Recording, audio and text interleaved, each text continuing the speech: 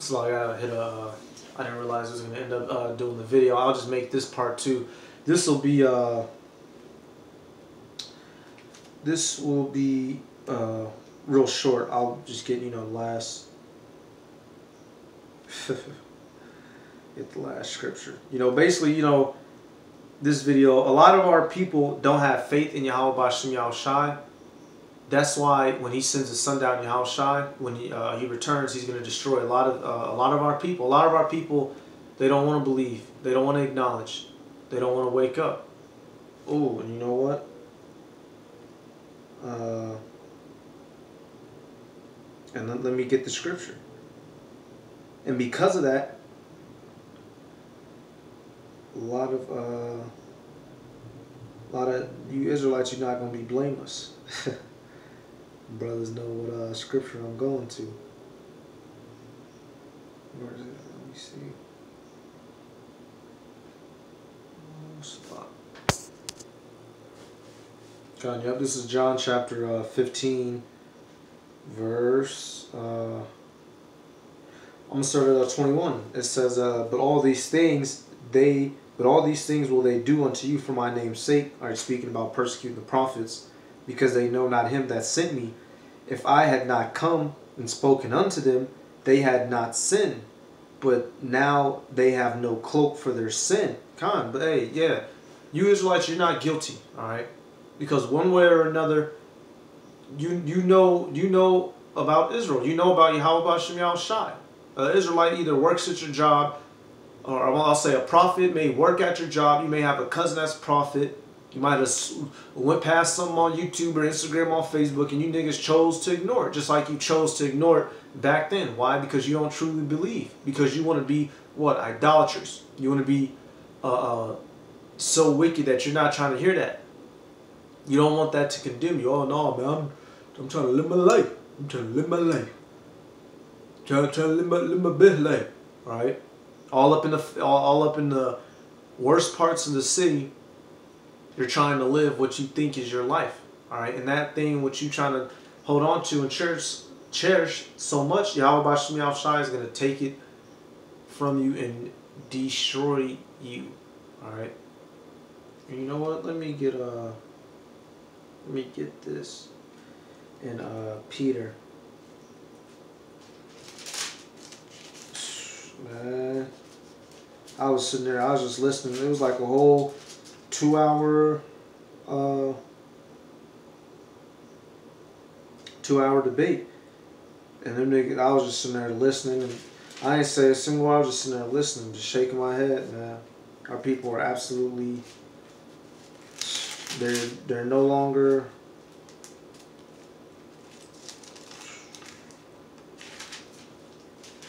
Oh man.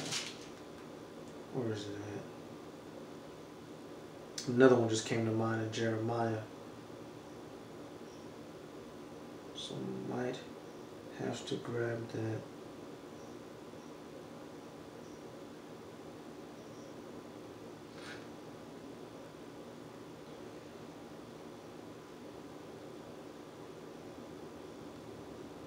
So like, uh, it's around there somewhere. This, where is it at? Where is it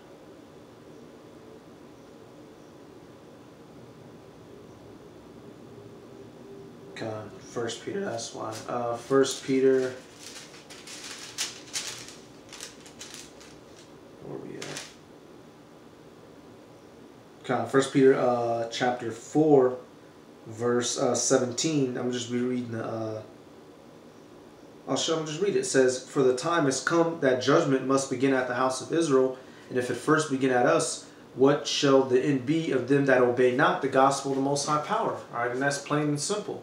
All right, it's going to begin, uh, you know, at Israel, you know, and you know, ultimately judgment is going to come down upon this whole world. But what's going to happen to you people that don't believe? All right, not not not even including the heathens. What's going to happen to you Israelites that don't believe?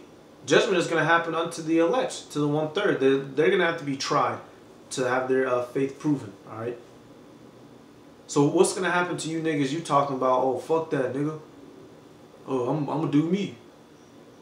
Y'all are gonna get you're going to get uh, you gonna you gonna drink it. You gonna drink the rest of your cup. All right.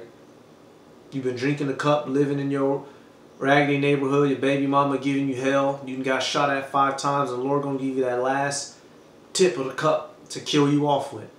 All right. Many of you wicked ass Israelites. Here it is. We're supposed to be the most spiritual people on the planet, and many of you Israelites have given that up to chase uh, fucking pipe dreams. All right. Here in America, whatever, whatever other country that you live in, to be a, a fucking rapper or actor, or entrepreneur, or some bullshit. And you're supposed to be getting right uh, with your power. All right. And let me. Uh, I'm gonna finish this. Get this on deck. But this is uh, First Peter four and 18 now says, And if the righteous scarcely be saved, where shall the ungodly and sinner appear? All right, and that's plain and simple. If the elect are uh, scarcely saved, what, uh, Jake, move.